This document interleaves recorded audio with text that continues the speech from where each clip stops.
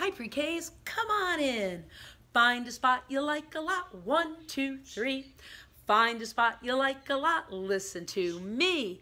Find a spot you like a lot. Three, two, one. Find a spot you like a lot. We always have fun. Come on in. This week it's all about the big K. You're moving on up where? To kindergarten. Oh, that great big school with lots and lots of friends. You're moving on up, moving on up where? To kindergarten. The fun will never end. So exciting. You're moving on out. You are graduating to a brand new school. So it's important you know what's going to be going on there. So this week it's all about the big K, kindergarten. Let's find out what happens. Tick, tock, goes that clock. Another day is here. The last time I saw you was Tuesday, Tuesday, T-U, Tuesday. The last time I saw you was Tuesday, but no, no, no, that's not today. After Tuesday comes, whoa, whoa, whoa, Wednesday, whoa, Wednesday, whoa, Wednesday, smack in the middle of the week. Yes, it's Wednesday, whoa, Wednesday, a Wednesday, smack in the middle of the week. We are at the beginning of the month. Yesterday was the number two, the second day in the month. And after two comes Three around the tree and around the tree makes the number three. We'll put the three right there on Wednesday. I'm stuck in the middle with you on a brand new month. What comes after the month of May? Did you say June? It's a month of June. I sing a sad tune. When we get to June, it always comes to soon.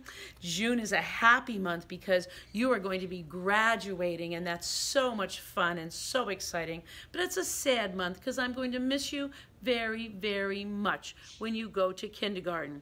But June is the last month we're together for school. This is the last month of school. We've been here for a long time. September, October, November, December, January, February, March, April, May, and now June. We've been here for 10 months, and that's the school year. But now it's over, it's really over, but more exciting things are coming around the bend. It's over, our school year is over, but there's always something new and exciting coming around the bend to look forward to. And we're getting ready for our big graduation here at Piper School to help you get excited about that big K kindergarten. Now, we also learned a lot about the clock. We found out that the clock, so bossy, bossy, bossy, telling me what to do and you all day long, can also be your friend. So this week we're talking about each hour what goes on. So let's look at our digital clock first. Our digital clock is so easy to read. It has the hours and it has the minutes and you find it everywhere in your house. So we will take a look at that one first. On the left, I'm going to put the hour of 9 because 9 o'clock is when many of you arrive at school. I'm going to put 00, zero for the minutes because most of you come when the big hand is on the 12, the hour has not begun yet, and the little hand is on the 9. That is fine. But next year it will look like this it will look like this on the clock at your school. Now, when Kathy sees 9 o'clock, I know Jeopardy has to finish up. Tick tock goes the clock. Colette has to start her stretches as the day it passes. That minute hand keeps going around. Then Kathy comes over to talk to you. Tick tock goes the clock. I tell you all about our big plans for the day as the day goes by. And then we go to the tables to do our work. And we work, and Kathy says, Oh my goodness, when that big hand is up back to the top, go play, go play, go play, I say. That's what happens at Pied Piper School when we're watching the clock starting at 9. Next year, you'll have a new schedule, but that clock will still tell you what to do. All right, well, Kathy said I have to help you get ready for the big K, big kindergarten, and I'm ready. Are you? I'm ready to talk about it. Now, we said that in all the other years, my pre-Ks have gone to visit their school. They did two things at their new school. Both began with the letter T. They did some testing. They would ask them questions about colors. You know your colors. And shapes. Oh, you know your shapes. Letters, numbers. You know all that. The sounds the letters make, we're still working on some of those. Rhyming words and sight words. They would test you. Now, we've been talking about tests when we do our spelling tests on Friday. It's really just a way that the teacher can know how well they are teaching. It's our job to teach you the information. And if we're doing a good job, a good job, then you'll understand all the things we've been teaching you.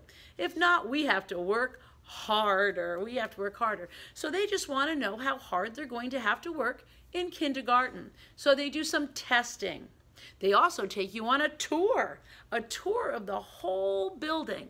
You get to see everything when you go. But this year, I'm sorry to say that's not going to happen. The schools are still closed, so you won't be able to go in and visit. You won't be able to see the school till before school begins in September. Then I hope they take you for a tour and maybe to do their testing. Until then, Kathy has to rely on my memory. What did all those pre-Ks tell me last year? Or a book. Because if you want to learn, take a look at a book. And we read the story, Miss Bindergarten goes to kindergarten, remember? So I want you to take a look at that classroom. Maybe that can help us. Remember what it looked like at the beginning? Oh, it didn't look fun at all. That was the way it looked in the summertime. And that's what's going to be happening now. The schools are going to be closed for the summer. They will be cleaning and organizing and getting ready for you to come in the fall. So let's take a look at how that room looked in the fall time of year, right before the children went to kindergarten. There it is.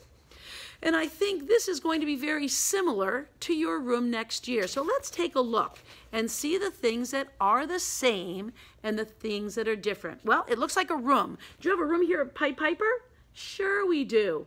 But is our room bigger or smaller? If you said bigger, you're correct.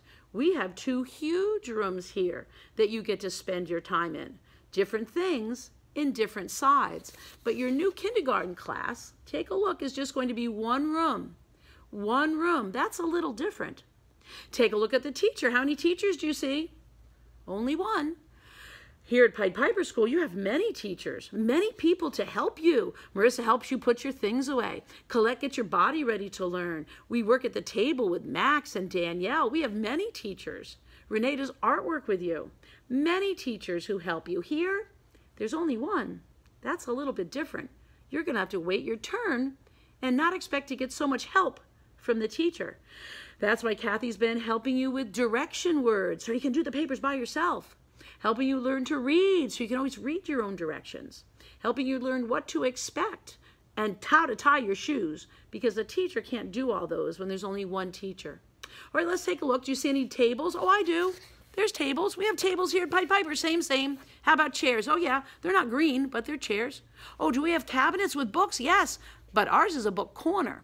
I don't see any comfy chairs to sit in here by the books. Do we have a globe? Oh, yes. We have a globe just like that. How about pets? Oh, yeah, she has a pet. We have pets too. Blocks, we have blocks just like that, but they're in our blue room.